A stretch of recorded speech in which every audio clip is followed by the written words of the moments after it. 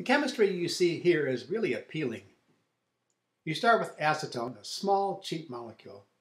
Treat it with a strong, bulky base at low temperature.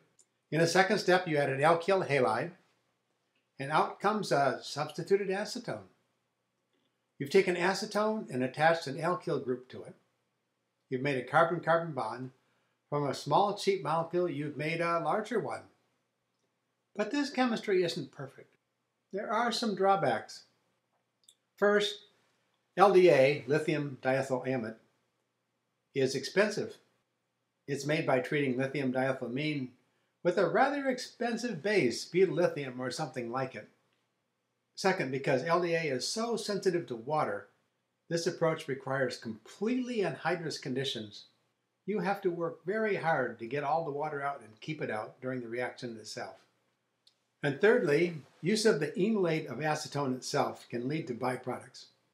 This not only reduces yields, but it makes purification a problem. There's a much older approach that works very well for making methyl ketones or substituted acetones. Take a look. The starting material is a compound called ethyl acetoacetate. It's an ester, so we put ethyl way out in front. Acetoacetic ester is another common name. And it's this second name that's used to describe the synthesis of methyl ketones, the acetoacetic ester synthesis. The concept is to start with ethyl acetoacetate and replace the carboxy group. Here's the new carbon-carbon bond. And the alkyl piece comes from an alkyl bromide or another compound that has a similar leaving group. You see, I've written this bond in the same orientation that we have for the new carbon-carbon bond we want to make. So we have an acetone piece that comes from the ethyl acetoacetate, there it is, and here it is in the product. The other carbons come from an alkyl bromide, and we lose the ethyl carboxylate group. How do we make all that happen? Well, look at this. Ethyl acetoacetate has a very acidic hydrogen. pKa is about 11, so treatment of a base like ethoxide completely removes the proton. Once we've made the enolate, it can be treated with the alkyl halide to add the alkyl group between the two carbonyl groups. This product is treated sequentially with base and water that hydrolyzes the ester, then strong acid that protonates the carboxylate salt that's formed during saponification, and then simply heated. And out comes product. These steps are all very manageable in the laboratory and can be done on large scale. Ethyl acetoacetate is relatively cheap to buy, so this is a good synthesis of compounds that we can call substituted acetones. Let's take a look at the mechanistic detail and then you'll be able to remember this better. When this is treated with ethoxide, the hydrogens between the two carbonyls is much more acidic than any other.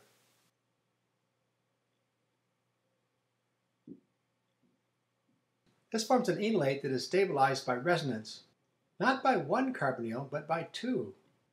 Although the resonance structures that have the negative charge on oxygen are the major contributors.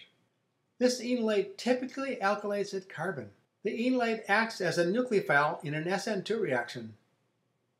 This makes the new carbon-carbon bond and builds the molecule, but we also have to lose the carboethoxycarbon. To make that happen, the ester has to be transformed into a carboxylic acid. Saponification using base and water is the standard method, and the initial product is a carboxylic acid salt, which is readily protonated using a strong acid like sulfuric acid and water. Now it happens that beta carbonyl carboxylic acids lose CO2.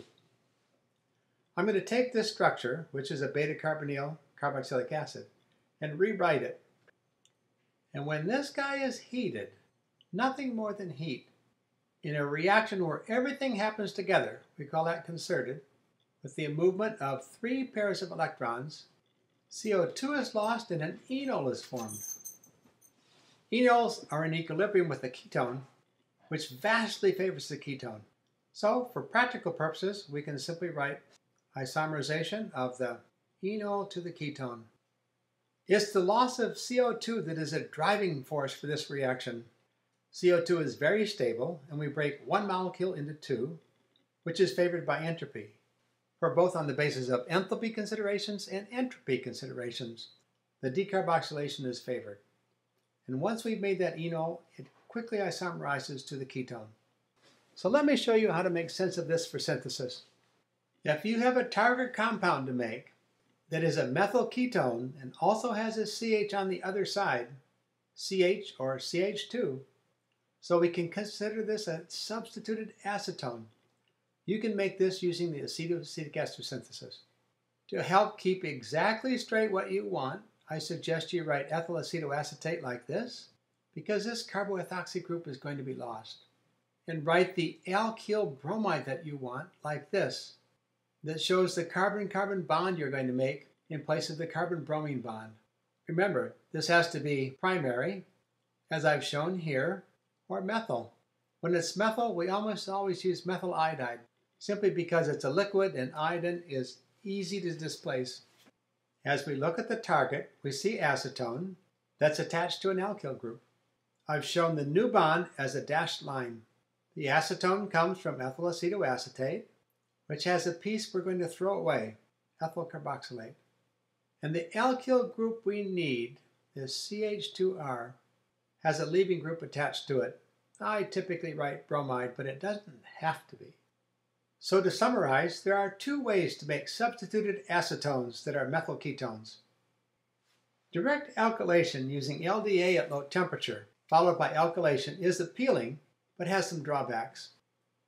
Use of ethyl acetoacetate is a five-step process. Each step is very good and also gives good yields of the same product. After alkylation comes saponification, acidification, and decarboxylation. The starting material and all the reagents are cheap. This can be done on a large scale and provides a very good alternative